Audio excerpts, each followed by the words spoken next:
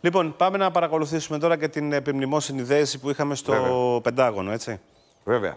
Ε, συγκινητική, ε, κλίμα οδύνης, χάθηκαν δύο νέοι άνθρωποι, βλέπουμε εδώ και τα, τα πλάνα, όλη η ηγεσία.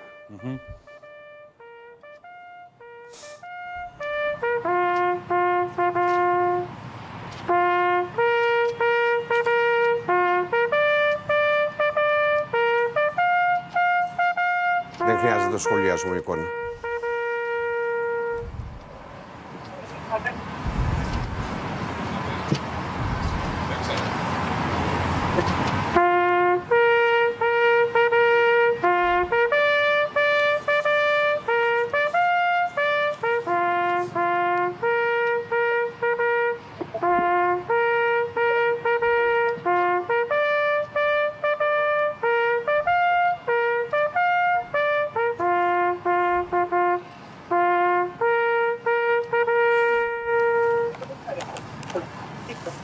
Λοιπόν, μάλιστα. Πιάνει η καρδιά σου προφανώς. Τα λόγια περιττεύουν. Δύο νέοι άνθρωποι. Συλληπιτήρια περιττεύουν. στους οικείους των ανθρώπων και στους συναδέλφους τους. Σήμερα οι κηδείες τους, στις ιδιαίτερες ε, πατρίδες τους, δύο νέοι άνθρωποι στο καθήκον. Τι άλλο να πούμε. Μάλιστα, Ο Νομίζω ότι Υπουργό τα και η λόγια Πρόεδρο είναι τη φτωχά. Δημοκρατία θα παρευρεθούν.